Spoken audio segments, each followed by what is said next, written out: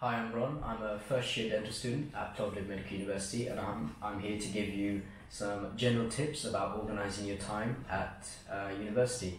I'd say, firstly, the most important thing to do is uh, produce like an Excel document or something like that of a study routine where you uh, combine your um, like class schedule, so lectures and practical lessons, uh, and then formulate uh, study hours during that time. So, for example, um, if you've got like a big space between two lectures and you've just had one lecture, then you can go home and you know um, just write notes on what you did in that lecture. But also, I would I would implement something like um, a Pomodoro technique where you uh, spend like 25 minutes on a, on a task, then do a five minute break, then 25 minutes, then a five minute break, and just continue that repeatedly. So instead of just doing straight up one or two hours of revision, uh, this 25 minutes into five minutes with, with the five minute break, it just makes it more, um, makes you more,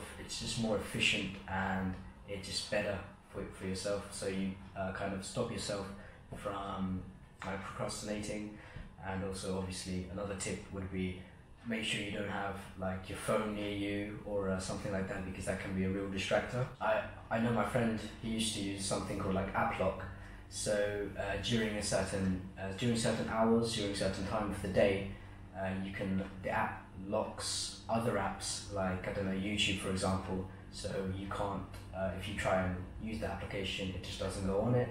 Um, personally, I use an app called Forest where it uses the technique of the Pomodoro timer, where it's like you can do 25 minutes of uh, proper work and then five minutes break at the same time. Like it's, it's nice. You can like it builds a tree or something like that.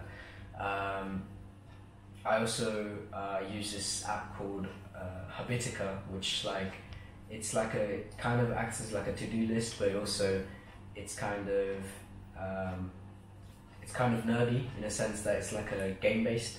So uh, for each thing that you cross off, so for example, like uh, morning study routine or like wash dishes or something, you gain like experience um, on your character. You get a character and you gain experience on the character and stuff. And then you can, you know, if, if you uh, use the app with your friends, you can go on quests together or something like that. But yeah, it's just a nice way to implement habits and uh, create better habits for yourself.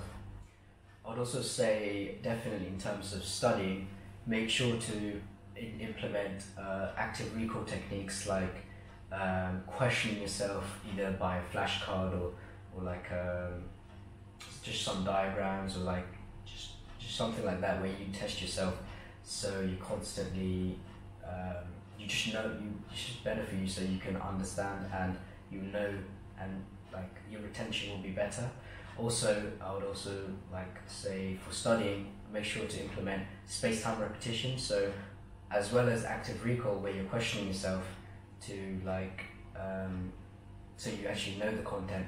You need to do space-time repetition, where you repeat it, repeat it like through like every week or every few other days or every every few days. So then you actually can properly learn the content. So as opposed to just short-term knowledge, you can create that into long-term knowledge, which can help you for your final exams. Of course, you are here to learn.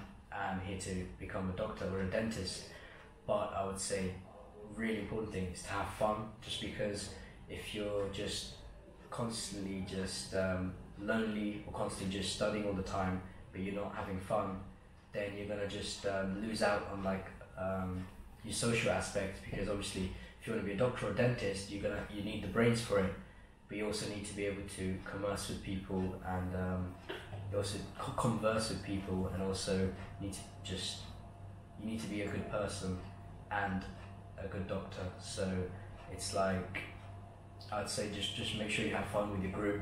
Uh, go out sometimes. I don't know. Go to like climb Mount Alyosha or something. Go have food. Go go karting. Go bowling. There's a there's just a lot of things to do at university. I don't have any lessons on uh, the weekend, so the weekends like they usually just yeah, I can do whatever I want. Obviously, I do a bit of work as well, but it also gives me time It's like a refresh, uh, like refresh time, uh, just to chill out. So I can you know go go to my friend's house, apartment, or I can just go out with my group members. I would say to avoid burning out, obviously, um, just make sure.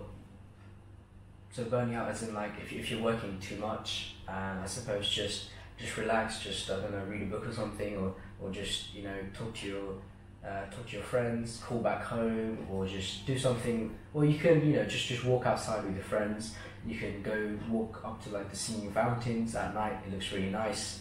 So just just relax. Uh, try and avoid burnout because you, you don't wanna you don't constantly like studying because it's just it's not it's just not good for you. Like you can't you can't physically um, keep studying. You need to have breaks. Make sure you um, eat kind of healthily. Like you, obviously doesn't mean you can't eat junk food, but if you if you um, I don't know have a cheat day or, or two cheat days, it doesn't matter. I have a cheat day every once a week, go out with your group, you know, go for dinner, have do something fun.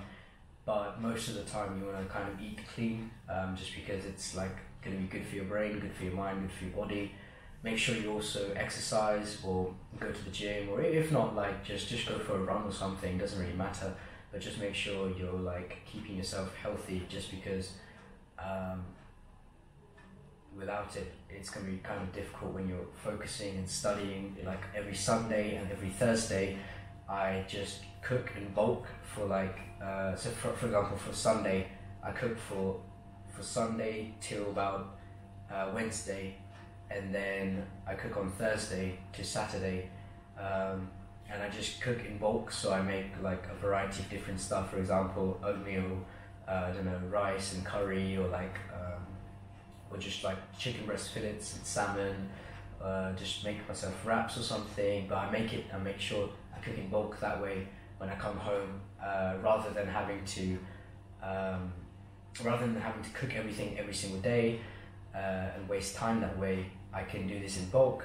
So then, out of two of the seven days, I cook, and then and then I can be more uh, efficient with my time and just do my other stuff, like I can do my work, I can uh, go out with my friends. Thank you for listening, uh, for the tips, and obviously, quick disclaimer: this is all uh, this is all like personal preference and uh, like it's, my opinion, and obviously, like all my tips. Um, they might not work for you. They, they work for me, but they might, might not work for everyone. But also, I hope you know these these tips do help you out. And um, obviously, um, you can you know get tips or get information from other people. For example, uh, like upper upper upper year groups, you can ask them, and obviously the people here are really friendly, so you can easily make friends with an upper year upper year student, whether it's dentistry or um, or medicine.